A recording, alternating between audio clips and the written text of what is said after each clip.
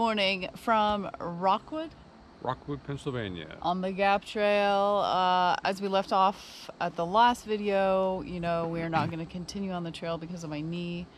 So the plan is we called around shuttles. It's just, you know, we didn't plan for this. So, of course, we don't have a shuttle booked. And, um, And they're booked out, so we don't want to pay for a hotel until one has a. yeah, and there's no, we're like, we're not going to rent a car and that kind of thing. Yeah, so. so I got thinking, well, it's only 44 miles back to the van in Cumberland, so Yeah. um, it's a nice, quiet, safe place for Irene and Pistol to hang out. I'm gonna disconnect my bike from the trailer, yeah. take bare minimum stuff.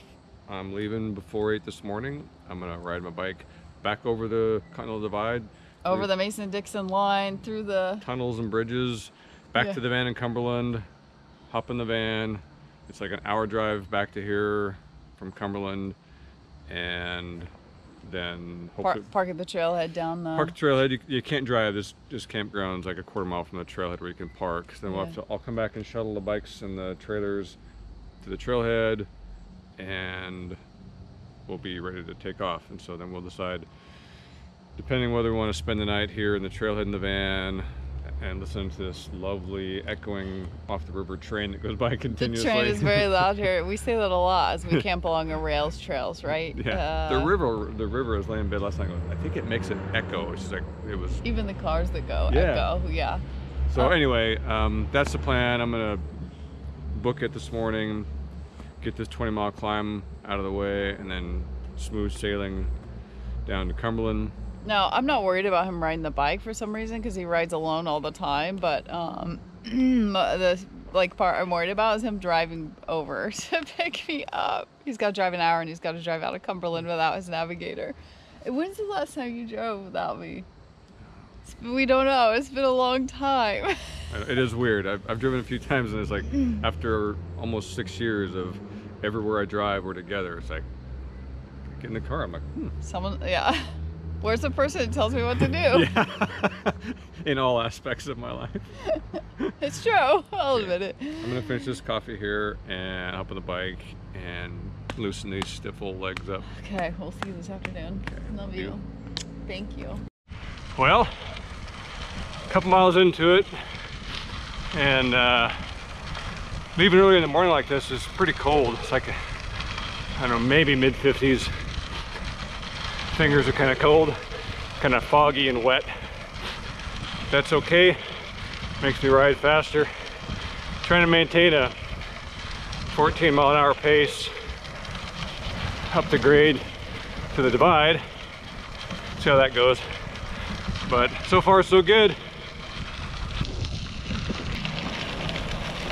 So I'm 10 miles into the ride, 10 more miles of this grade to the divide. Oh, here comes that bridge, oh boy.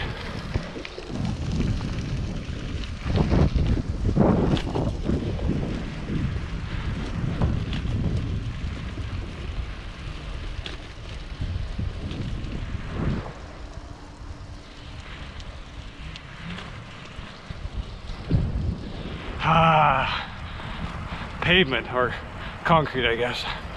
That gravel's noisy after a while when you're riding a little harder. So far, I'm keeping a bit over 14 mile an hour pace. Happy with that. I'm just having these strange worries that I was gonna have like a me- mechanical issue like derailleur or chain. And now what? We don't want to think about that, but I guess you figured it out. It's deja vu all over again.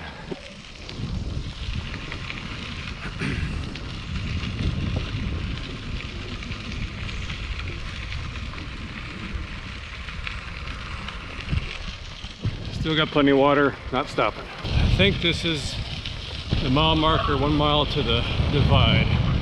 Yes, one more mile, and then it's downhill for 24.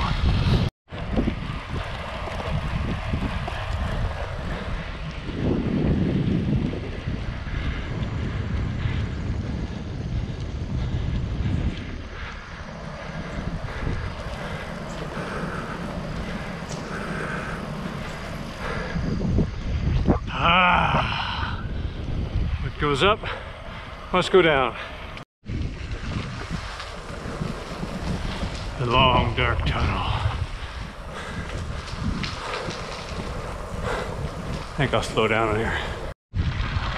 Just flew by Frostburg before I knew it, so yeah, I think I'm, must be, what is it? 16 miles, 16 miles to Cumberland. Yeah. You guys want to race? Anybody up for a race?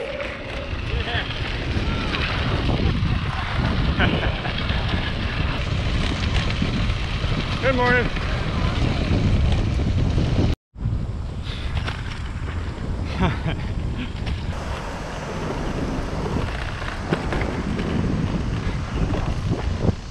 wow. It's a good ride. Now let's see if the van's still here. Van's still here.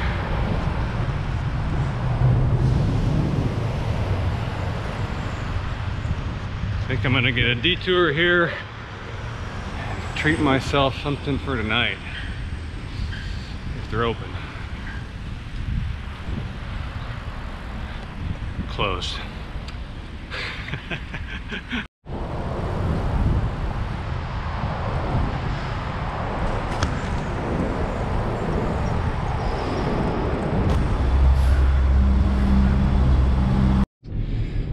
Which where do I? I guess I got to figure this out myself. Well, this is weird. I got to drive back to Rockwood to pick Irene up with no one here to tell me how to do it. Let's see if I can figure this out. Anyway, uh, yeah, what a hammerfest. I rode as hard down as did up.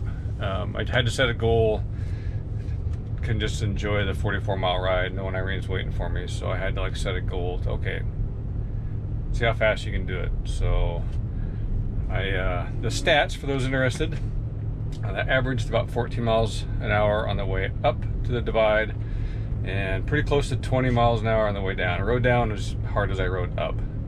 And so I averaged out I don't know less than 17 mile per hour for the whole trip which not bad for a heavy steel bike and fat gravel tires, low pressure in them on gravel. So I'm happy. I'm happy. So I'm gonna head back. He's back! Oh, my hero. It's noon. Not bad, huh? My God, you flew. Pistol, are you happy Daddy's back? Well, thank you so much for making camp.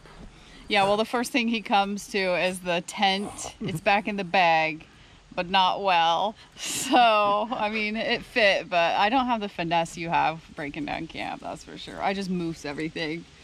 Um, so while you were gone, you miss me, girl. You know, I told you guys we were posting this live over on like daily updates and stuff on Patreon.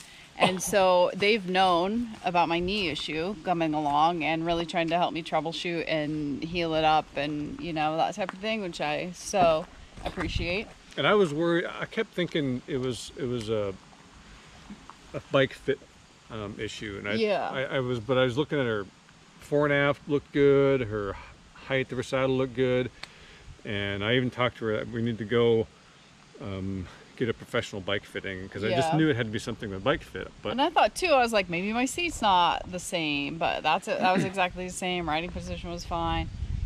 However, when uh, I read a comment this morning on Patreon, Stuart, he said check the clips, the cleats on your shoes because he had a similar issue, and it turns out one of his cleats had twisted slightly, so it wasn't aligned correctly. So when you clip in, it's actually making your And I didn't think, yeah, it makes sense. But I never thought about any of this. I kept thinking about it.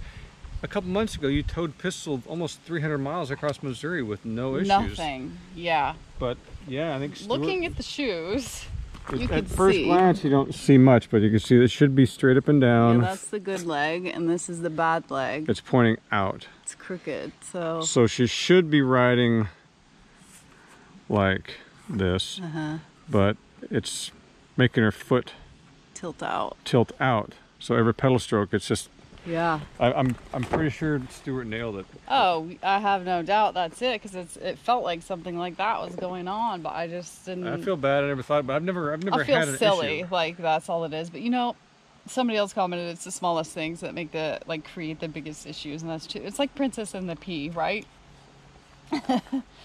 anyway, So now we have to regroup and rethink. Yeah. Because I'm relieved it's that. I'm relieved it's not something like I'll never ride a bike again. Like this, I was so happy to find that out. Like I'm very excited. Yes, I'll need to rehab my knee, you know, for a little while, but um, so um, I still haven't eaten since yesterday. So um, I'm thinking we get s- pistol salty. she loves the salt. Um, I definitely want to go over and do a beer sampler at the brewery in town. yeah, and I think we should take today and tomorrow and regroup and think about it, see how your your knee does. But I definitely think we need to make sure it heals completely, however long that takes. I agree. But um, I'm thinking maybe we do some different looks at the GAP, some different trailheads. Maybe I'd like to do some running on it, maybe bike it more. Who knows? Maybe Yeah. if your if your knee issue goes away completely in a couple days, do some test rides without the trailer. Maybe we'll both ride some more. Maybe we'll ride We some know. some segments of it. So anyway, we'll um, We're just gonna regroup. Uh, gonna the, regroup. the whole trip might not be scrapped, but up to this point, we don't know. Um, you definitely need a few days off, and I don't want to stay here for a few days. yeah, no. So we'll get back to you. Uh, The plan. yeah, next week. I guess you'll find out. So, all right. Talk to you soon. Carry on. Carry on. For behind the scenes footage, extra content, and all our videos early release and ad free, check out our Patreon page. And check out our blog on our website, careyonvagabond.com. Thanks again and Carry carry on. on.